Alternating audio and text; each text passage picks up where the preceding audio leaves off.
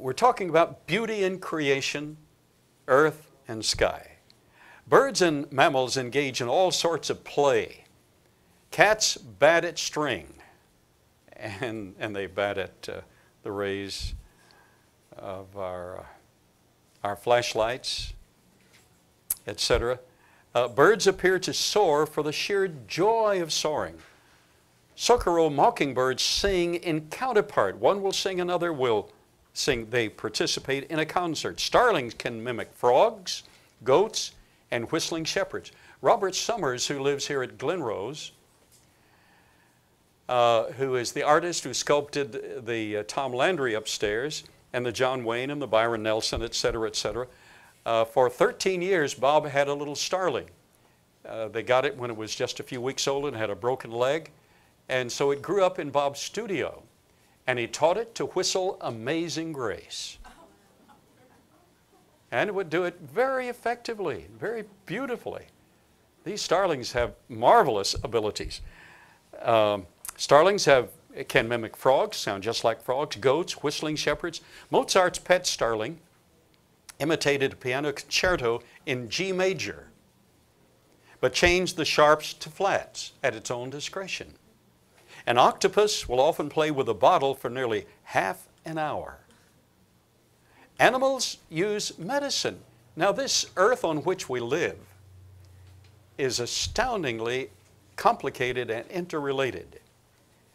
And the scripture says that all things were created by Jesus Christ. To me, that's quite astounding. So, after researching this lecture and seeing that in every area there different varieties, different characteristics to maintain that life, I, I realize to a greater degree the kind of care that he instilled in them. African apes, during rainy seasons, parasitic larvae commonly infect the digestive tracts of chimps, bonobos, and gorillas.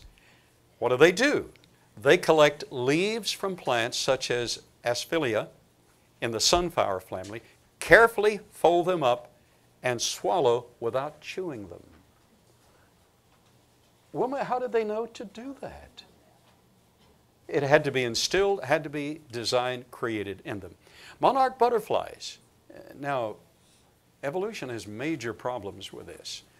We have a, um, a beautiful tape series back there called Metamorphosis.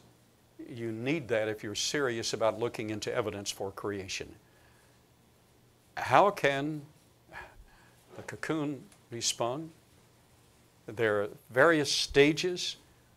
All the information goes through processes that actually liquefy, reform, and ultimately produce a butterfly. There is no way that one stage could slightly change to a more complicated phase of that stage. All the information has to be in the original larvae. And we'll talk about that to a little small degree here.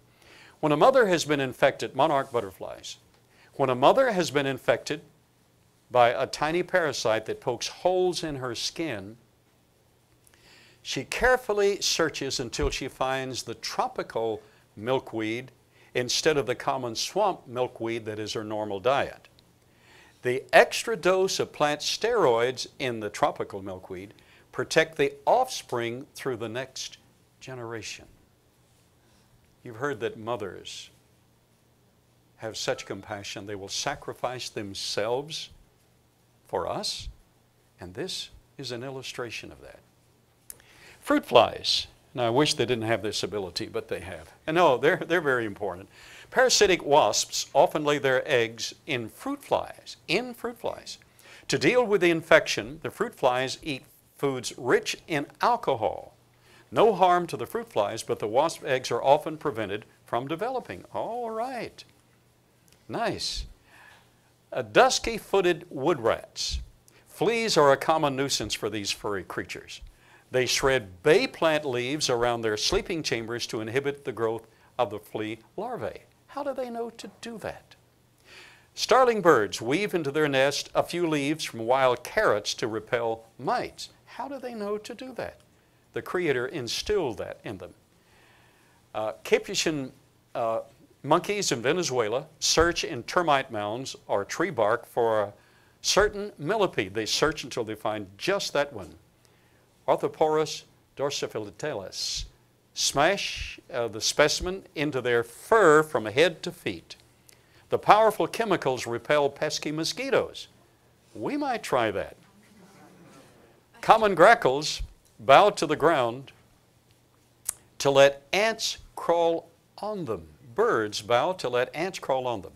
The ants secrete formic acid that helps keep pests away.